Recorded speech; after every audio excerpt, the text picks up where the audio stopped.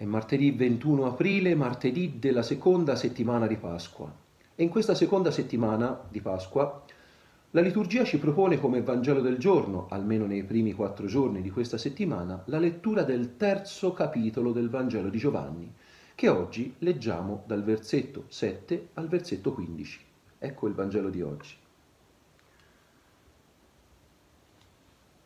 In quel tempo Gesù disse a Nicodemo, non meravigliarti se ti ho detto dovete nascere dall'alto. Il vento soffia dove vuole e ne senti la voce, ma non sai da dove viene né dove va. Così è chiunque è nato dallo Spirito. Gli replicò Nicodemo. Come può accadere questo? Gli rispose Gesù. Tu sei maestro di Israele e non conosci queste cose? In verità, in verità io ti dico, noi parliamo di ciò che sappiamo e testimoniamo ciò che abbiamo veduto ma voi non accogliete la nostra testimonianza. Se vi ho parlato di cose della terra e non credete, come crederete se vi parlerò di cose del cielo?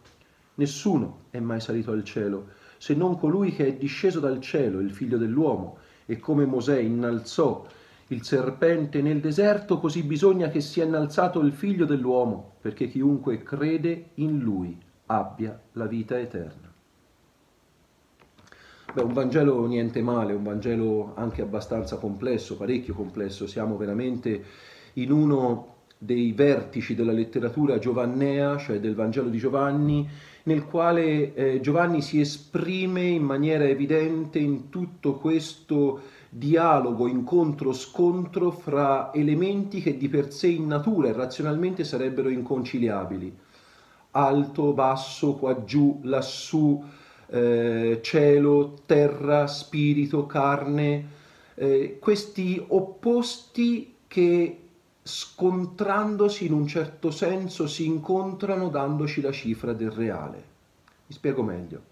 Nicodemo era un personaggio particolare, l'abbiamo incontrato già ieri. Nicodemo era uno, un fariseo, un dottore della legge, insomma uno che era ben inserito nell'entourage del Sinedrio, che era l'organismo di controllo politico e religioso, di potere politico e religioso nell'Israele del tempo del Signore. Quindi Nicodemo era uno che contava, uno che di per sé avrebbe avuto tutte le ragioni per accontentarsi della sua vita e non andare a cercare altro. Nicodemo non si accontenta, Nicodemo va alla ricerca del Signore perché probabilmente era alla ricerca di se stesso e ci va di notte, dice Giovanni, l'abbiamo ascoltato ieri, e questo di notte non è riferimento solo alla notte del cielo, ma alla notte dell'anima nella quale probabilmente si trovava lo stesso Nicodemo. Quel Nicodemo che probabilmente si pone le domande esistenziali che ci poniamo noi stessi, tutti noi. Com'è possibile Com'è possibile conciliare la finitezza della nostra vita con l'eternità di Dio alla quale Egli ci chiama? Com'è possibile conciliare la realtà di male che tante volte noi stessi viviamo e di cui, stessi, di cui tante volte noi stessi eh, facciamo, ne subiamo le conseguenze di questo male, con quell'amore di Dio che invece ci viene testimoniato dal Vangelo di Gesù Cristo, questo Dio che si propone come un Dio che tutto ama, come un Dio che perdona, come un Dio che vuole il nostro bene e invece, soprattutto in questo tempo, ci scontriamo con questa realtà di male diffuso intorno a noi che supera tante volte probabilmente le nostre responsabilità. Questa è la notte dell'anima che tante volte attanaglia, come a Nicodemo, anche ciascuno di noi. E allora il Signore, vedete, qui in questa pagina del Vangelo si propone come mediatore fra eh, gli inconciliabili elementi della nostra realtà, come mediatore fra gli opposti inconciliabili, come mediatore fra cielo e terra, come mediatore fra le cose di, qua, di lassù e le cose di qua giù, come mediatore fra carne e spirito. E come si propone il Signore? Con una metafora. Qui usa in questa pagina del Vangelo una metafora presa dall'Antico Testamento, dal libro dei numeri, un episodio che narra come Mosè, per salvare il popolo di Israele durante il suo esodo nel deserto, eh, dal morso di serpenti velenosi, innalzò un serpente metallico su un palo di legno nel deserto e narra appunto il libro dei numeri, chiunque veniva morso da questi serpenti velenosi, guardando a questo serpente, volgendo lo sguardo a questo serpente metallico innalzato su un palo nel deserto, egli aveva salva la vita.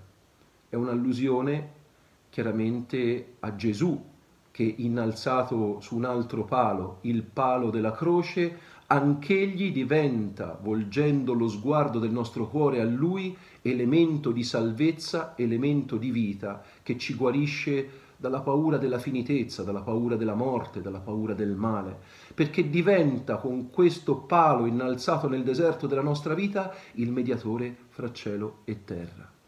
Conoscere, conoscere la realtà di Dio, conoscere la realtà del Signore significa conoscere noi stessi. E guardate, non è possibile chiaramente arrivare ad una piena conoscenza della realtà di Dio finché siamo su questa terra, finché siamo in questa vita, ma è da questa vita che inizia la conoscenza dell'amore di Dio e quindi la conoscenza di se stessi, per vivere meglio con se stessi, fratelli miei, per vivere riconciliati con se stessi, con la nostra realtà, con quello che siamo, con quello che viviamo e con le relazioni che abbiamo la conoscenza di Dio, l'inizio della conoscenza di Dio su questa terra cambia qualitativamente la nostra vita, la nostra visione della vita. È questa la bellezza di una fede vera, di una fede nello spirito che nasce dall'alto, come dice il Signore in questa pagina di Vangelo.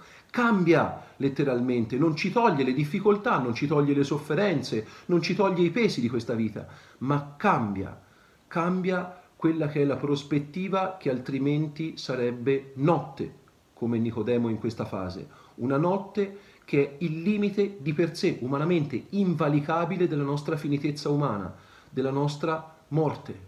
Gesù va oltre, Gesù va oltre il male, va oltre la morte e da questa vita ci insegna a conoscere noi stessi alla luce dell'amore di Dio. Ebbene, oggi è la memoria di un santo eh, al quale sono molto affezionato, Sant'Anselmo d'Aosta, un grande monaco, eh, vescovo, pastore, dottore della Chiesa e teologo dell'undicesimo secolo.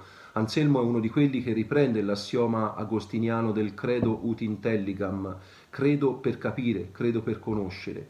E quello che abbiamo appena detto lo sintetizza in una pagina bellissima del suo proslogion che ora vi leggo e con la quale vi lascio.